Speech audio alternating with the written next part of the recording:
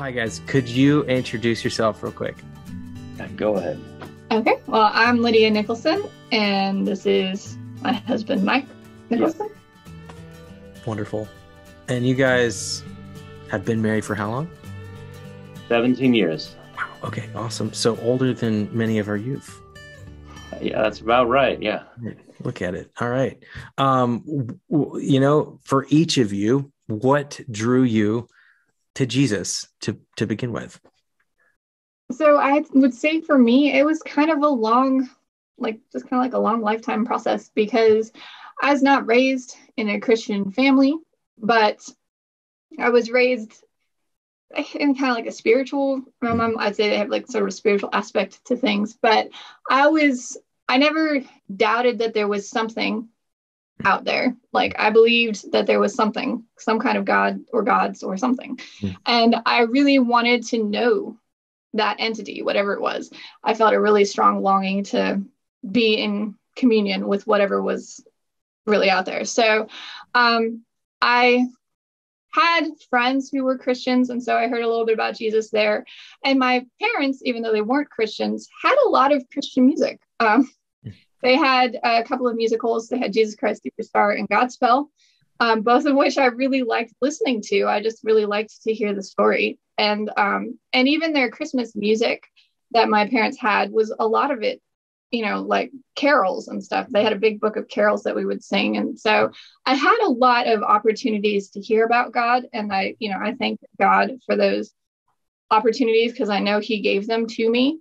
Mhm. Um, because there was that longing there. I just wanted to know. And so eventually uh, we met and we were both kind of interested in God stuff and we wanted to go to church together. And that's where I really started learning about Jesus more formally. And, you know, I could tell that this was this was it. This is what I had been looking for. So um, that's kind of my journey in a nutshell. Wow. Wow. So even growing up in a non-Christian home, you still found lots of opportunities that the story of God was kind of around and in front of you and and that captivated you and made you want to learn more. Yeah. That's yeah, awesome. definitely. That's awesome. Glory to God for that. What about you, Mike? What drew you to Jesus? Well, I actually had what I'd consider a supernatural experience, and it's a little bit scary. I, I experienced a vision. There was a time where um I was just in the depths of despair, Mm. um, involving a breakup with a girl, Mhm. and uh, that'll put you in the in there. depths of yeah i'll put you in the depths and um i wasn't raised in a christian home either but when i was in the depths i i i kind of experienced a vision of myself out in something like space and surrounded by a whole lot of death and i don't want to go into too much more into that i don't want to scare anybody but it, it was it was a spooky situation Mhm. and i couldn't snap out of what i was seeing and experiencing and i called upon jesus i think i said something like jesus please take these things from my sight and i was instantly taken back to um to restored to a safe place restored back to my senses and given a a sense of peace unlike anything i'd ever experienced before and um like i said so i wasn't raised christian i could have called on any of the gods you might be able to name but uh but i called upon jesus and he's the one that re- restored me to my senses and Mm. um, from there, yeah, uh, we were experiencing church together. We were seeing the gospel in the hymnals at First United Methodist Church of Hyattsville, and then uh, hearing the gospel proclaimed um, more concentratedly from some Christian leaders in our lives, and that we invited into our lives and uh, came to faith in Christ. But that was the impetus. That's what started my journey was seeking Jesus. Wow. Wow. So both of you came from homes that weren't raising you to be Christian and both of you have been drawn into this faith and and and chosen this and believe this. That's that's that's remarkable. And, and it sounds like different journeys, but uh have braided you together, right? Where it says that man is without excuse, creation proclaims the glory of God. Mm, you know, I, I feel part of that was my experience. Like I could not Wow. go outside and look at the world and think there is nothing. Mm. Um, so, you know, from at least that starting point, right. it doesn't necessarily bring you to Jesus, but it does, you know, I don't think it's really easy to deny that there's something out there. Mm. And right. so um, that was a good starting place for me. To go from there, there are many ways, and there's an unnamed mystery to we believe Jesus is that way. That's a big, that's a big journey, um, and one I think um, many of us encounter that kind of uh, who many of us who grow up in the church encounter that kind of thinking kind of after we're out of our parents' home. Um, but you guys grew up in that and and kind of came the other direction. so that's that's that's beautiful. It can't just be your parents' religion. You know, you have to right. look into this for yourself as you go along. So many of us at you know coming into high school coming into uh, coming into college that differentiation between our faith and our parents faith that if we haven't wrestled right. with that yet it, it it it there's a moment where you you have to decide you know am i gonna am i gonna follow this or not? So you guys picked to follow jesus and it's been easier ever since right? So what what challenges your faith uh, my friends? So i will say early on as a christian and still now um, sometimes scripture mm. challenges my faith. You know looking at the old testament in particular there's a lot of stuff um, you know, I came from a very liberal uh, background as well. So not just, you know, non-Christian, but also very liberal sort of leaning. And so a lot of the stuff you read in the Old Testament is kind of like, this isn't, this is hard to t- take. This is, yeah. you know, it sounds mean. Mm-hmm. Um, mm-hmm. And so learning how to read through the scriptures and understand you know historical context mm. genre what is this what am i reading what does it mean mm. um, what does it really mean uh, has been helpful. But that's still sometimes a challenge for me as I'm going through um, scripture. Just, just what what is this? This some of it does not jive with what I picture God to be, you know, and so it's like, how does how does this form a cohesive picture? Um, that's one challenge for me. Yeah. Also, along the same vein, uh, injustices in the world you know some of the horrible things that happen to very innocent people. Yeah. Um like where i know god is there and i know god is in control but um that challenges me when i you know if i'm thinking about it late at night or whatever it's like it's just it can be hard. Yeah. Yeah. No i resonate that with that very much lydia and i think the the questions about the bible are ultimately why i ended up you know slowly working at, at seminary degree because it was it was just questions about like how do i i want to hold this together but how? There are ways to to learn how to read and better hear what's being said in the scriptures is you have to have that patience in your faith because you're not going to understand everything at first read. And um, that moment where you're just tempted to, to just put away god's word is uh uh, that's that can be challenging. One of the things I've found comfort in, particularly in the Old Testament, is the Psalms that wrestle with the same questions that we wrestle with today. And the idea that God would inspire something to help us enter into that dialogue with Him about kind of the toughest parts of life. And people need to realize in the faith, it doesn't automatically answer all your deepest questions. Mike, what challenges you in your faith even today? Um, I would say today it is um, the biggest challenge for me is interpersonal relationships. Mm-hmm. So I can be a guy that takes everything personally, and mm-hmm. I can be really, really sensitive. Um, so sometimes I wish I had tougher skin about some things, but yeah, if someone is to like hurt me or upset me somehow, I really don't handle that well. Uh, I don't know if that's a maturity thing, but uh, but then in the midst of that, what's going on with me and God is then I'm doubting his ability, strongly doubting his ability to pull me out of the situation or pull me out of the feelings that I'm experiencing in that situation. Um, yeah. That's that that's a hurdle for me. Sometimes I think we expect the, the life of faith to get easier, or, or, or always that we're growing stronger in our faith, and sometimes it doesn't feel that um, you know what is it linear is that would that be the case for you you feel like there's seasons where you're not as strong as a uh, and, and, these things hit you harder or yeah how do you, how uh, do you yeah how do you cling to god through through those tough seasons you know, uh, um, God has really blessed me with with Lydia, and mm-hmm. and a lot of times I I turn to her to to help fix me up and make make those moments better. We need each other, don't we? yeah, good man. Yeah, it's absolutely faith is true. a faith is a group project. So uh, yeah, you guys are living that out. guys, what what keeps you holding on to your faith amid these challenges? You want to go ahead? Sure. All right. So yeah, as we just mentioned, having faithful friends, you know, mm-hmm. to walk alongside you. And again, I feel like the Bible speaks to this where you're, you know, when one person is weak, another is strong, and so we can kind of carry each other along. Mm-hmm. Um, and that's good. That's good for us to be in these shifting uh, modes, I guess. There's a lot of things that keep me holding on to my faith. I've looked other places. You know, mm-hmm. I my my sister was into Wicca for a while. We were like, gonna be witches, woo. Okay. Um, you know, we were looking at Norse gods. We were looking, we were looking around. And so um, after looking around, this is real. You know, mm-hmm. Jesus is real. And so um, in the moments of doubt, and I just cling to that, you know, mm. this is I know this is true. Clinging to the good things that I know God has done mm-hmm. in my life. You know, if you can look back, it's this is where journaling can be helpful. We don't really journal, but we've made notes, mental notes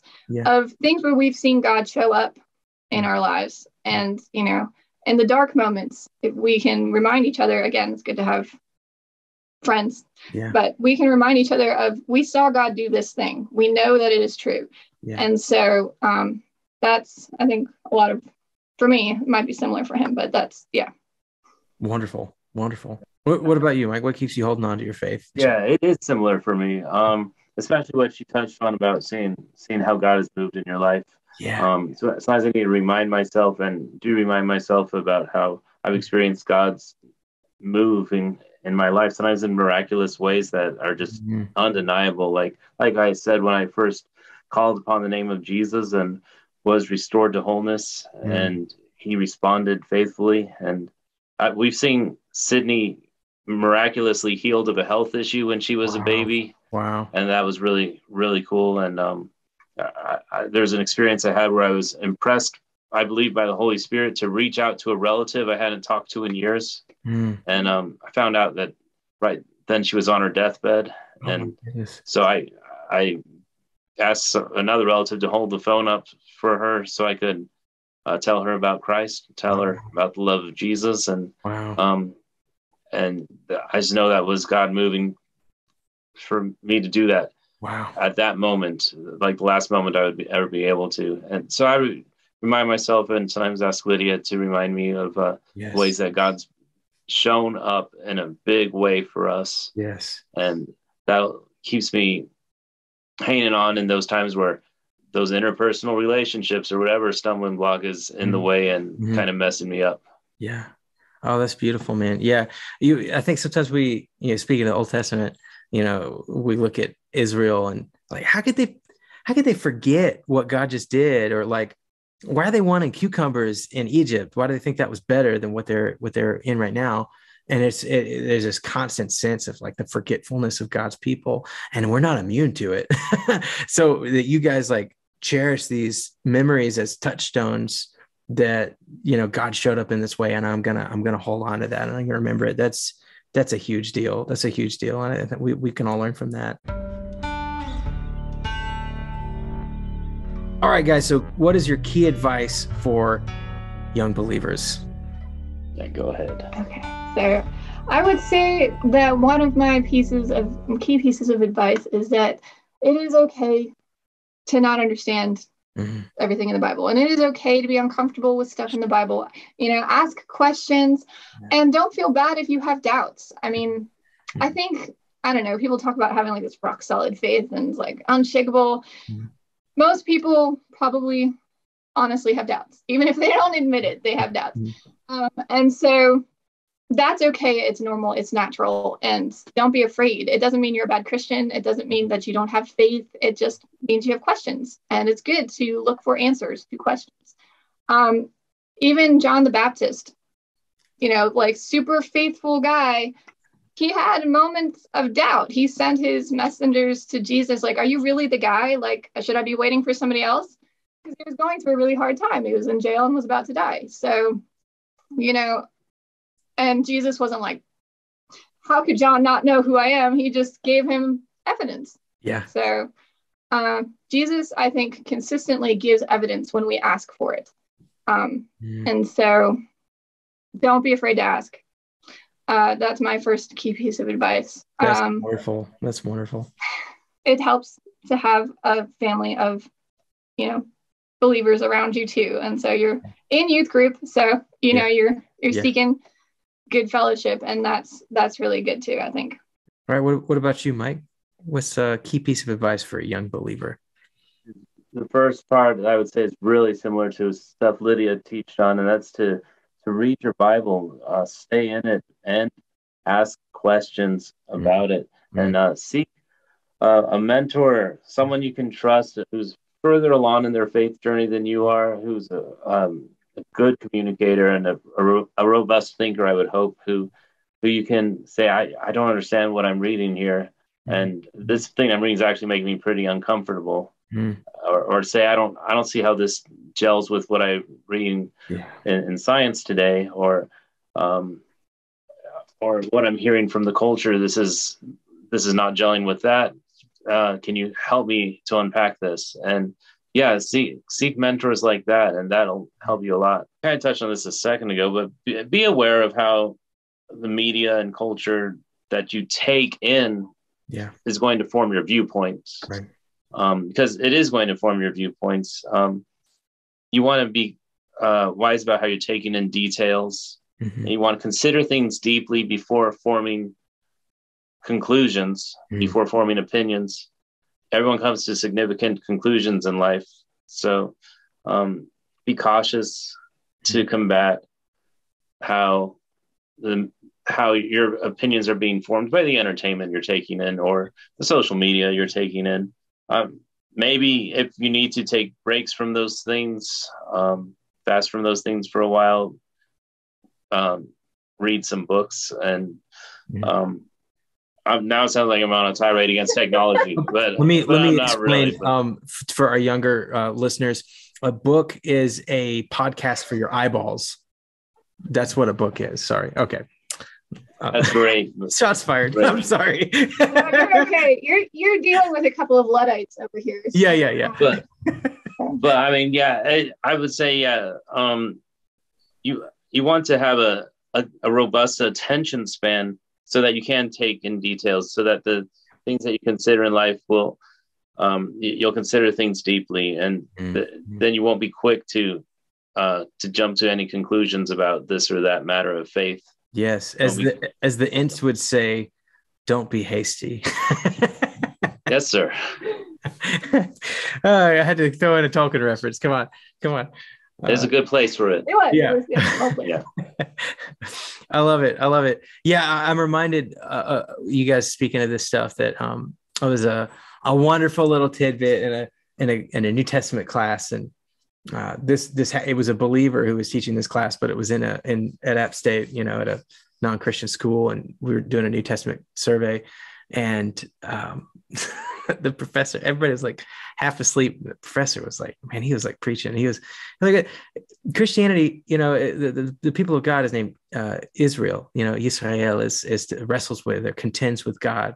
And, you know, the, the origin of that name comes from Jacob wrestling, you know, with this uh, figure, you know, it, it doesn't really say what the figure is, but he leaves with the name wrestles with God. The idea that, he, as he put it, this this professor, uh, that Christianity is not a faith of transaction, like you you just get all the answers to to what you need. It's it's a faith of struggle, and so the key to growing in the faith, to some regard, is holding on, even if it's an all out wrestling match. But you don't get that blessing. You don't quite hold. You don't really get the payoff of this struggle unless you continue to hold on to God. And sometimes our faith is going to feel like a wrestling match and that's okay and you guys are are providing some wonderful tips about how to wrestle well with deep things be patient seek counsel continue to soak yourself in scripture be aware of the influences in your life uh, those are all huge huge pieces of advice um, and and honestly guys i wish i had heard that in in my teen years because i was one of those people who struggled with with all kinds of deep questions that seemed to be, you know, was didn't seem to be an arena to ask them. And what I'm hearing you guys saying is, uh, this community of faith is certainly an arena to ask and engage these questions. So that's that's glory to God for that. So thank you for your faith, and uh, may it continue to to to build us up, um, and we build you up, and and this uh, faith family uh, grow even closer together through our shared struggle of this faith. Uh, you guys have any parting parting tips uh, you would wish you'd say to your 16 year old self? Wow, I, I wish I could tell my 16 year old self that um, that everything that I was worried about in that moment was going to mean nothing to me and in, in a week or okay okay. And and of course I didn't know Christ at 16 I, I was saying Jesus is everything that you're looking for. Mm, mm, wow. Yeah yeah yeah. I don't know what I would tell myself. I guess relax. I feel like that's kind of high strong okay. Relax. Um take more joy you yeah. know? Yeah take yeah. more joy. Um because it is a joy. We do, we've just spent a long time talking about all the struggles, but I mean, it is it is a it's a joy to know God, and God loves us and rejoices in us, and so it's okay to be happy and have fun. It doesn't have to be all somber all the time. Oh my so, yeah. Preach, preach. Well, th- thank you guys so much